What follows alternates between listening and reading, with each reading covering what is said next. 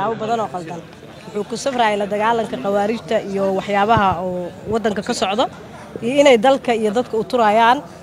Hadda laba sano kabacdi meeshii shalay la jooga in laga sii xumaado maaha lagama wanaagsana. Madaxweynuhu markastuu baarlamaanka yimaado asaga hadal fiican uu sheegaa iyo wax badan in la qabanayo laakiin madaxweyne keligiisa oo asaga keliya oo xukuumad lahayn taliyayaal ciidan lahayn horta madaxweyne waxaan u sheegaynaa inuu waxba qaban karin si hoosena ewla ugu sheegnay xukuumad wadankan kama jirto golaha wasiirada iyo xukuumadda. Shaqooyinkii loo igmadana ma qabtaan. Madaxweynuhu dagaaladu uu sheegayo ama dibadda ha ahaada ama gudaha u ahaada ku jirana kuma jiraan.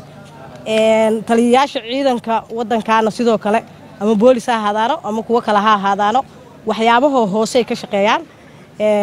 Waxaan rabaa aniga waxaa jiro qorshe dheer oo aan rabo saxaafadana inaan la wadaago oo warbixin labadii sano wixii soo dhacay iyo wixii soomaaliya ka hadlaysan iyo meesha laga toosi karo iyo meeshay ka hadlaysan yihiin maantana waxaan ku sumaynaa intaas in wadanku uu baarlamaanku u diyaarsan yahay.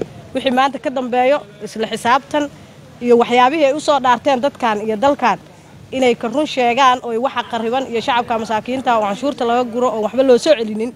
Wixii jiro inaan sheegno adinkuna mas'uuliyada idin saaran shacabka soomaaliyeed oon fariintuu dirayno inay ayaguna waajibaadka dhinacooda ka gutaan. Adduunyada shacabka hogaamiyo annagana waxaan balla qaadaynaa inay shacabku wixii ay rabaan ku horkaceyno wasalaamu calaykum waraxmatullahi wabarakaatu